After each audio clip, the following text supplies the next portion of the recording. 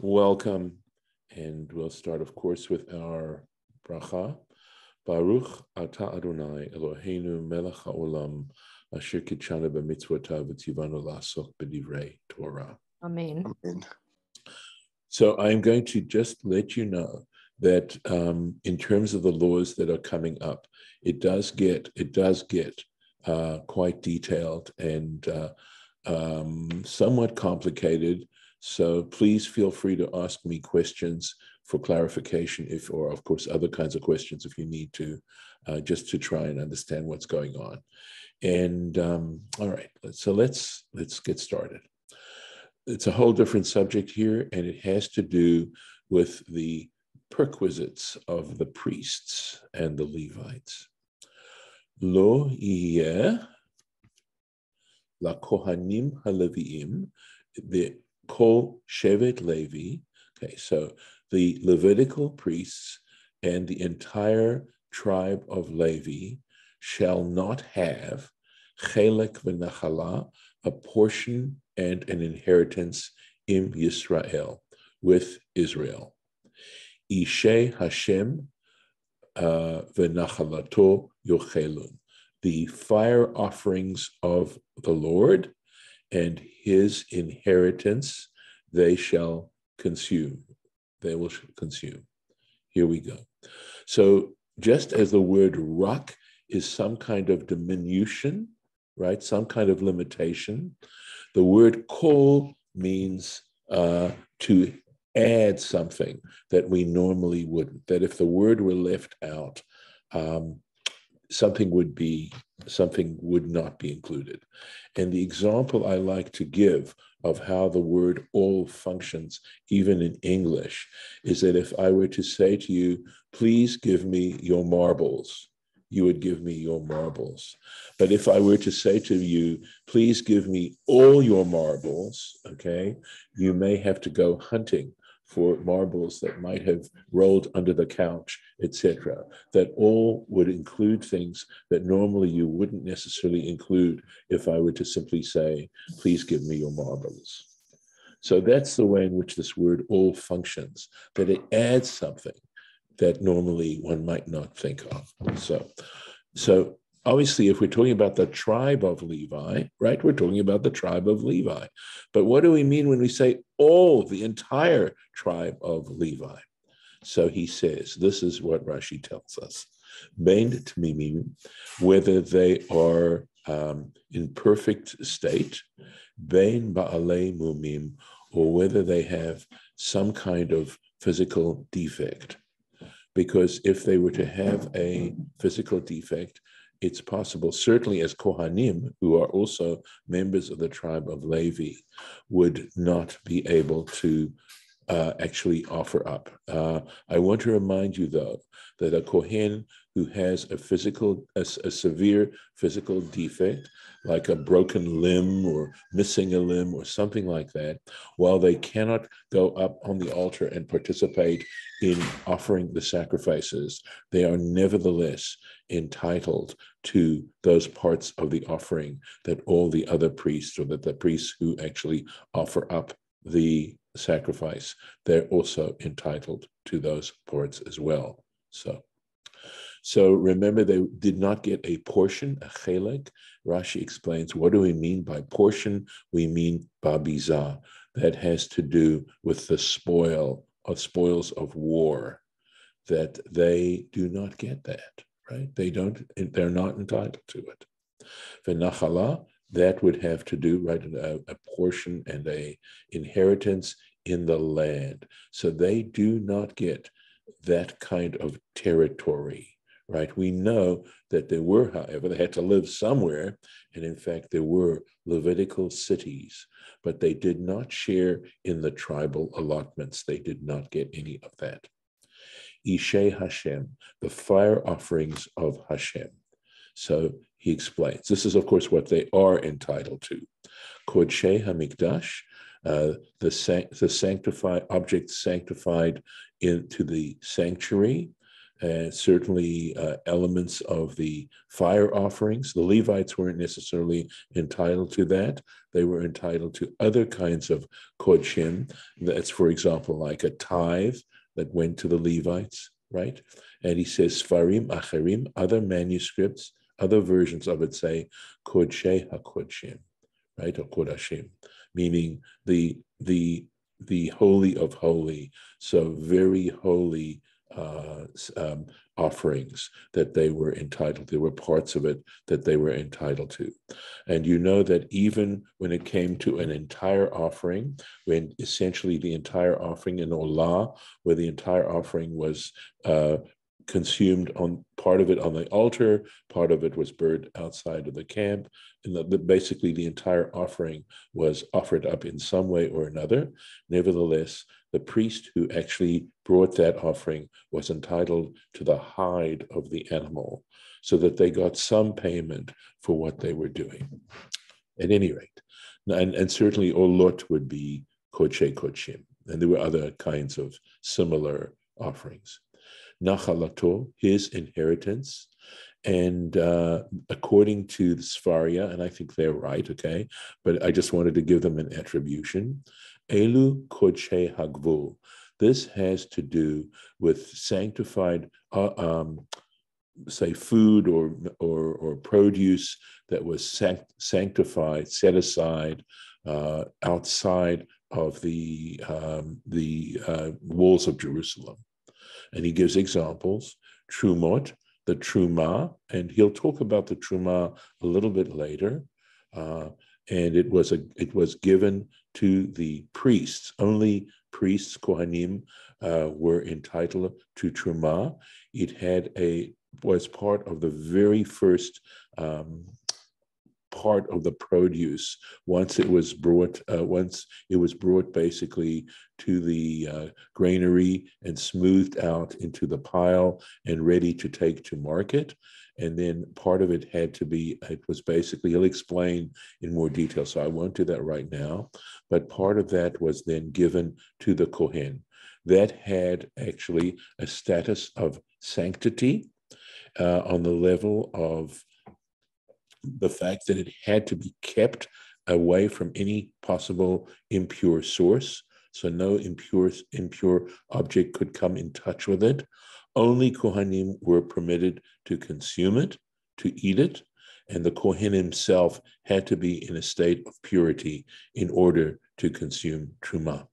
So, Masrot are tithes, and they certainly were given to Leviim. That was a prime source uh, for the Leviim of, of food and produce.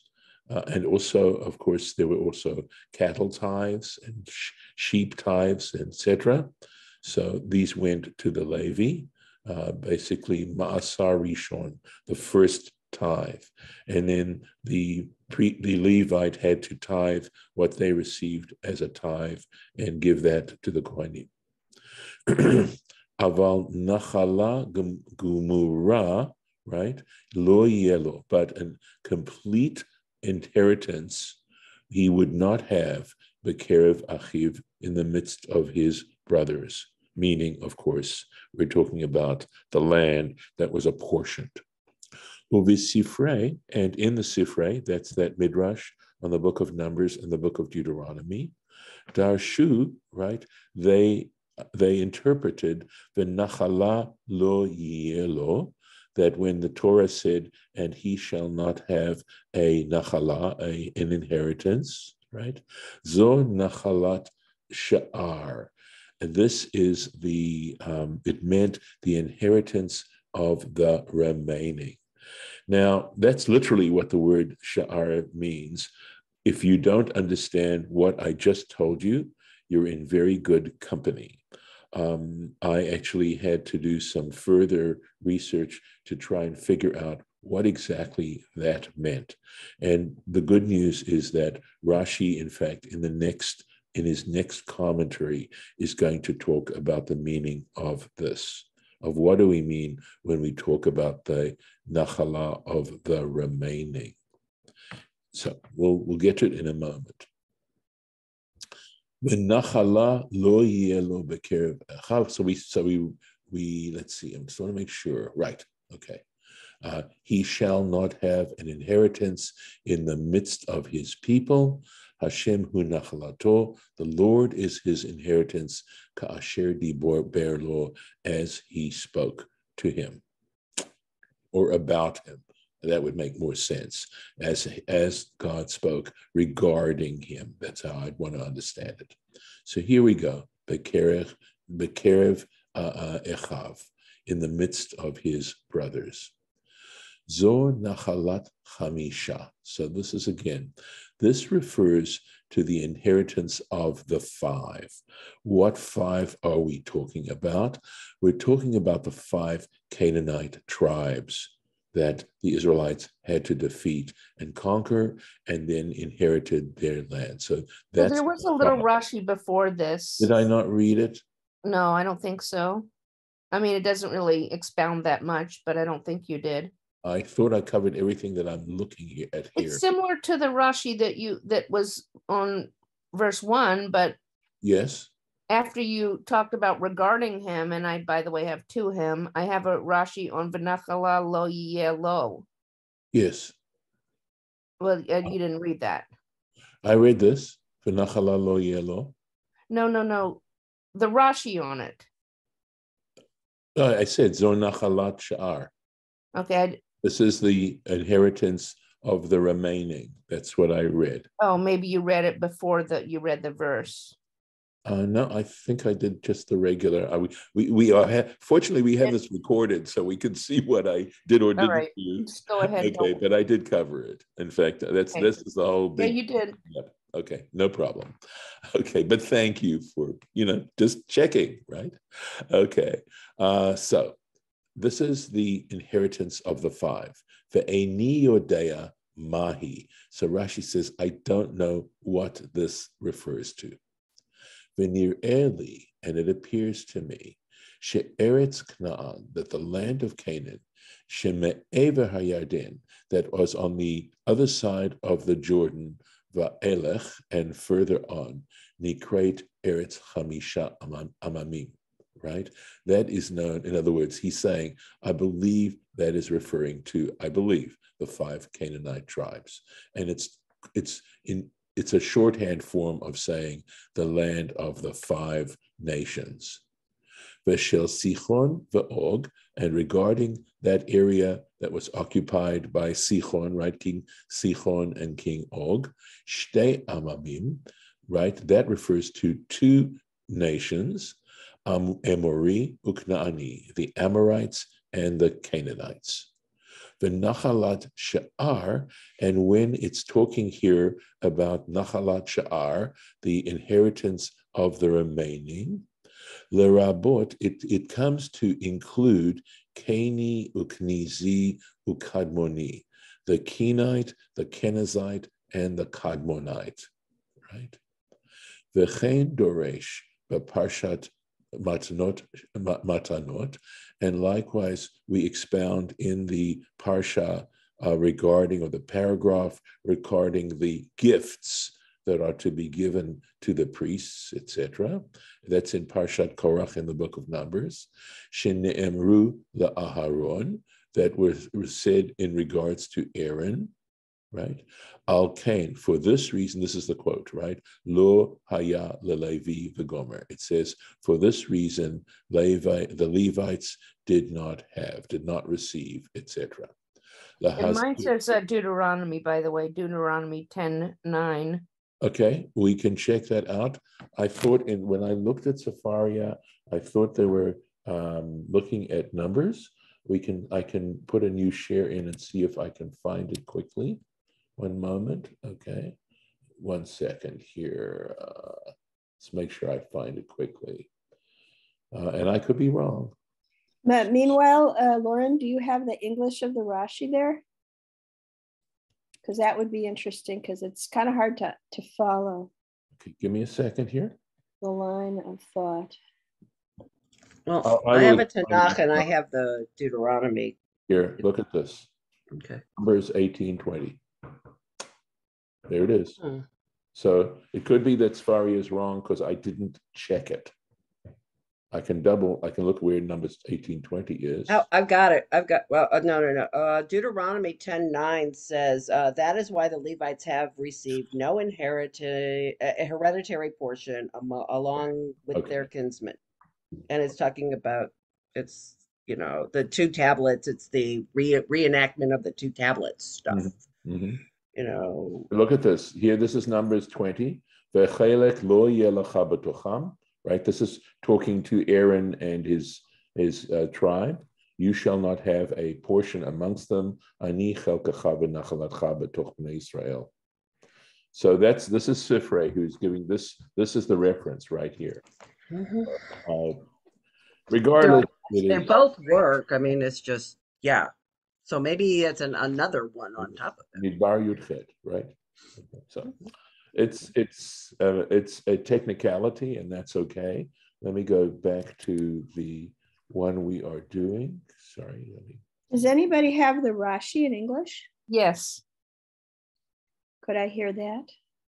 If it's up to Rabbi, if he wants me to read it. Absolutely, that's fine. From the beginning. Uh, well, I would like to finish this. That, that, yeah. Let me get this done. Go ahead. And then, then I think it would make sense for you to read it. Okay. Uh, so he's saying this this he's ex- trying to explain this Nachalat Sha'ar, right?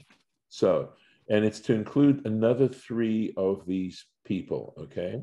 So, uh, right, Parshat Matanot, and we're arguing over whether the Parshat Matanot is Deuteronomy or Numbers. And I know that in Numbers it talks very much about the reward to Aaron and his sons after Korach, remember, tries to challenge it, right? Um, okay, etc lahazhir al kini. So that is to to tell him that tell him that the Levites are not to receive a portion of land among the Kenites, the Canaanites, and the Kadmonites. Right. Shuv nimtza bidivrei Rabbi Kalonimus right? And again, we find in the words of Rabbi Kalonimus, by the way, this is a very rare moment where Rashi is saying he doesn't really understand what this is about, and he's working with us uh, to get an understanding of what's going on here, right? So in the some manuscript he found of this Rabbi Kalonimus, Hachi Garsinan Besifrei, this is the version in the Sifrei, the Nachala lo yelo, right? That's the uh, the verse. Elu Nachalat Chamisha. This refers to the inheritance of the five. Okay. Um, Bekerev Achiv Elu Nachalat Shiva. This is the this is Clonimus. I think he's still possibly quoting here, and that is these. This is the portion of the seven. So let me keep going, and then I'll try and back up on what we're talking about. Nachalat Chamisha Shvatim. So now we're talking about the inheritance of the other Israelite tribes, right? So we're referring to the inheritance of five of the tribes, the Nachalat Shiva Shvatim, and the inheritance of seven tribes. Omitoch Shemoshe, and, and the reason we're dividing them up in this way, right, is because Moses and Joshua, lo chalku nachala, they were not, Joshua and Moses didn't actually apportion out the sections of land. They only did it for five of the tribes, Bilvad, alone. Shekain Moshe, because if you look into the detail of it, Moses apportioned out the Ruvain to the tribe of Ruvain, Gad to the tribe of Gad, the Chatzi Shevet Menashe, and half of the tribe of Menashe. So that's three tribes, right, or two and a half tribes. The Yoshua, Hinchil, and Joshua uh, apportioned land Lihuda to Judah, the Ephraim, and to Ephraim, Ulachatzi Shevet Menashe, and also to half the tribe of Menashe. That makes a total of five tribes, five complete tribes. Veshiva Acherim, and the other seven tribes, Natlu Ma'elehem, they had to take it themselves. They had to apportion out those areas that they, they received as a, as a, as patrimony uh, themselves. Joshua and Moses did not actually do the apportioning. Acharei Mot Yehusha, after the death of Joshua. Mitoch kach, and because of this, Hiskir Chamisha Lavad. This is why five are mentioned alone, Vesheva Lavad, and seven alone, because of that particular distinction. Now, let's try and put this together. The reason But- this, yeah, yeah, go I'm just going to say because it's almost, you know, it's getting later. There's one more small Rashi and it's numbers 1820. Yes. But that was the one you were talking about was 10.9. Mhm. I think in Deuteronomy, you're saying. Yeah, Yeah. the well, the Deuteronomy 10.9. I thought you were saying your Pinchas was from oh, was from Bamidbar something. Yeah. Yeah, that's later on. That's actually lovely. It comes up later on. Okay. But we're not going to do that today. Let me, if this is the last Rashi on our verse, yes, it is. Let's stop. We'll do this and then take take a moment, give you a chance to do your English. Okay. Kasher diber lo, as he, this is the end of this verse here, as he spoke to him, Artsam, it says, okay, so this is the point.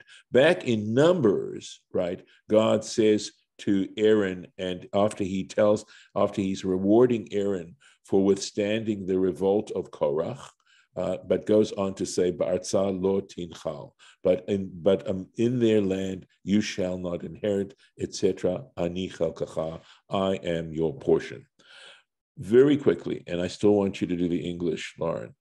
Um, that essentially, I believe what Rashi is telling us is that because the Kenites, the Kenizzites, and the Kadmonites were not included here, uh, that possibly they might have thought that the Levites could take an apportionment there, or uh, because Joshua and Moses weren't giving out the land, that somehow this was okay for Levites then to inherit um, these parts.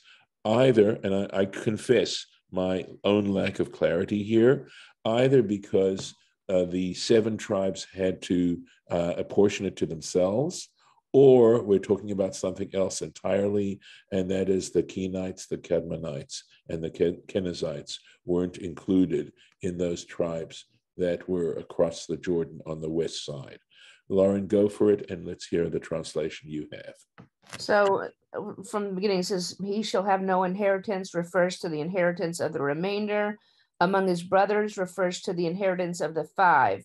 I don't know what this means. It appears to me, however, that across the Jordan and onwards is called the land of the five nations, and that of Sihon and Og is called the land of the two nations, namely the Amorites and Canaanites.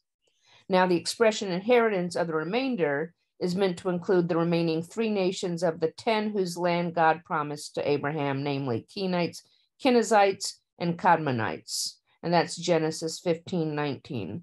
The Sifre in the section dealing with the priestly gifts specified for Aaron expounds this in a similar fashion on the verse, according to this Deuteronomy 10 9. Therefore, Levi has no portion or inheritance to admonish the Le- Levite to take no portion in the inheritance of the Kenites, the Kenizzites, and the Kadmonites. It has since been found in the words of Rabbi Kalonymus that the proper version of this passage in the Sifre reads, this, um, and he will have no inheritance. This refers to the inheritance of the five. Among his brothers refers to the inheritance of the seven. Rashi now explains this version of the Sifre. The first reference is to the inheritance of the five of the 12. The second is to the inheritance of the remaining seven tribes of Israel. Now, Moses, Moses and Joshua apportioned inheritance only to the five tribes, Moses to Reuben, Gad and half the tribe of Manasseh, Joshua to Judah, Ephraim and the other half of the tribe of Manasseh. The remaining seven tribes took their inheritance by themselves after Joshua's demise. Thus, because of this distinction between these five former tribes and the seven latter ones, the Sifre mentions five and seven separately. As he spoke to him, i.e., to Aaron, saying, You shall not inherit in their land, I am your portion and your inheritance among the children of Israel, Numbers 18 20. So, uh, what I did was read the parenthetical parts, not, you know, stopping to segregate them. So let me let me just Thank you. clarify Yeah, that, point. that helps. Yes, Okay. I also feel that it basically what I said to you before was in fact what goes on, but I have one other clarification. There are two interpretations of Nachalat Sha'ar. Rashi gives us two alternative explanations. One is that the Sha'ar refers to the Canaanites, the Kenites, and the Cadmonites, right? Because we talk about the seven Canaanite nations, he tells you which ones they were, right? And then because the Kenites, Cadmonites, and Canaanites, weren't included amongst the seven, the Levites have to be specifically told they do not get an inheritance, even with those other those remaining three nations. That's one interpretation. Another interpretation, which is the one he finds in Kalonymus, talks about makes it refer to the tribes of Israel. Okay, and that and having to do with the fact that five of the tribes had to were apportioned by Moses and Joshua, and because the remaining seven had to sort of figure it out for themselves as to what they were getting, we might think that that was an exceptional situation. That that somehow the Levites might take a portion amongst them, just like the other seven tribes were figuring it out for themselves, and that's why we have to have that's what the Sifrei meant by Nachalat Sha'ar, the, the inheritance of the remaining. Remaining there meaning the remaining seven tribes of Israel. So again, just to clarify, we are talking about two different explanations of this particular phrase. And I hope that I hope that makes it pretty clear for you now. And we can say Kaddish Darabanan. I have a, an appointment to go to, but we can say it now as far as Okay. if people can All right, show so I'm- I'm going to stop the share and let's go ahead and I'll also stop the recording and we'll go ahead and do that. So. Mm. Hey, Tish.